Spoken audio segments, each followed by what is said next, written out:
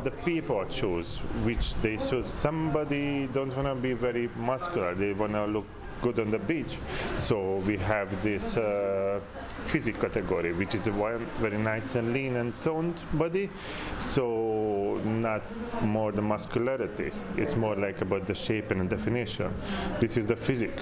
We have the bodybuilding, which is like a classic bodybuilding, like the big guys, you know, like big muscle. Not many people like that, but somebody competing that. So, and also we have a ladies, and we have three ladies competitors in the bikini category, which is obviously like look good in the in the bikini.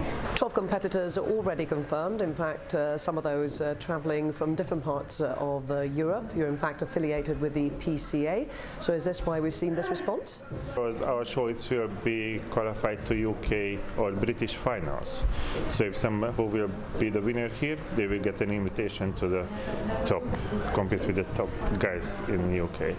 And you've attracted four local competitors. So have you been sort of involved in their training and nutrition uh, to make them ready for competition? Yes, we have for a few guys and one lady as well, which we train with and give her some ideas about the food and the training.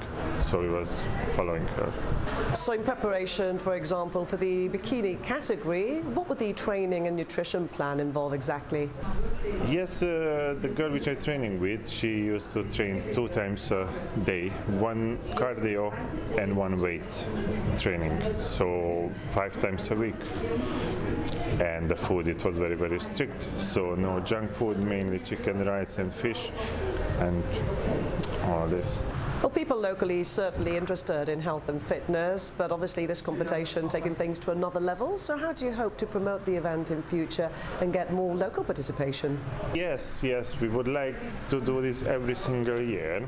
So it's just like uh, see how does it work, and every year we want to just increase more competitor, more sponsors, and just every year better and better.